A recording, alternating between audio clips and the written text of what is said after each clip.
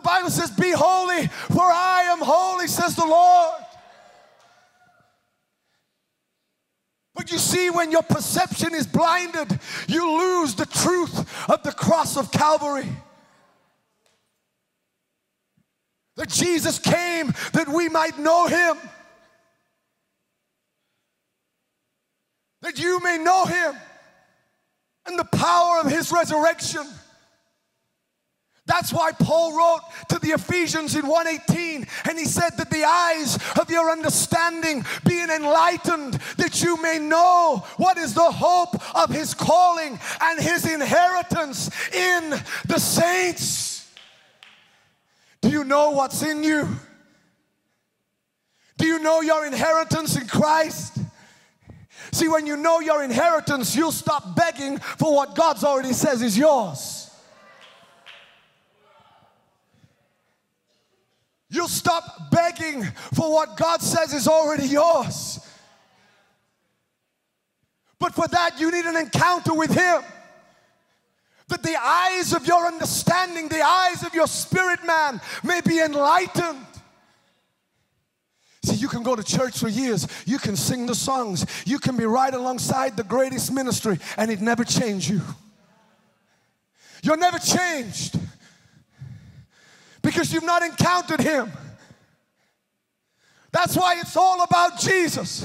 It's all about the Lamb that was slain. It's all about the King of Kings and the Lord of Lords. That's who we preach, that's who we point to.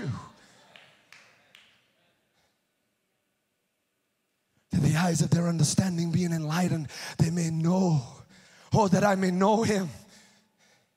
That I may know Him. See, the most powerful thing that will happen to you in these meetings is that God opens the eyes of your spirit man that you really see Him. That you're not just quoting scripture, that that word becomes alive in the spirit man, that suddenly it takes root, and that's when power, that's when virtue begins to flow from your life.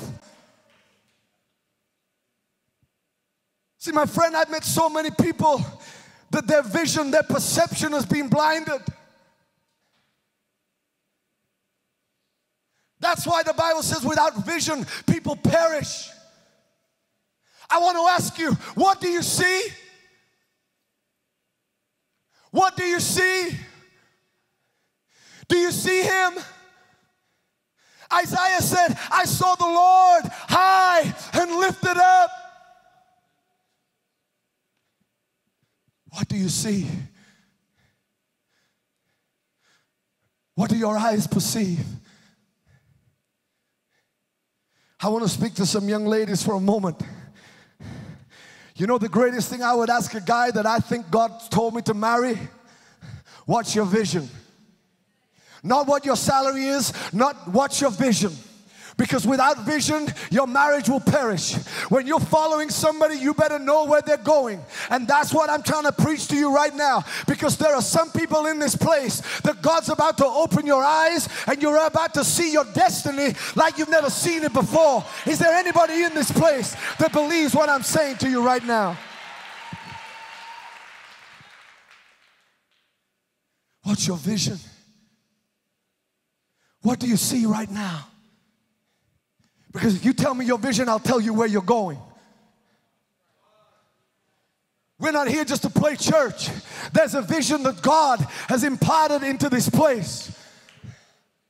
And unless you see it, you'll never flow in the anointing that God is releasing right now. See, my friend, there are many ways to be blind.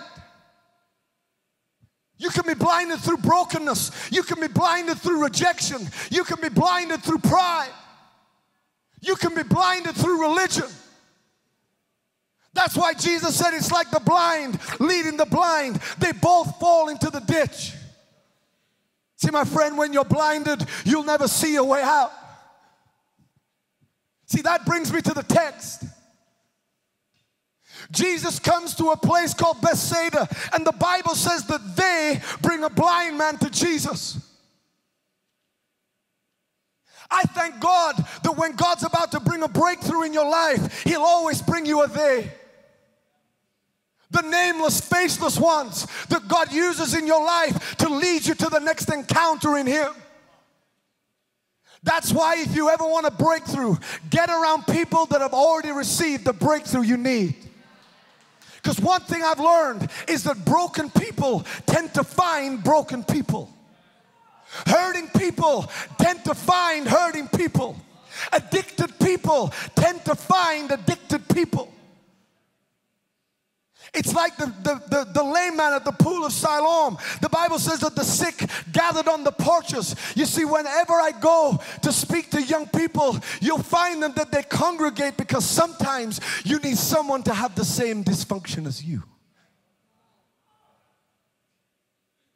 But if you ever need a breakthrough, you need to find people that have already had an encounter with Him. Because when they touch your life, they'll lead you right to the feet of Jesus.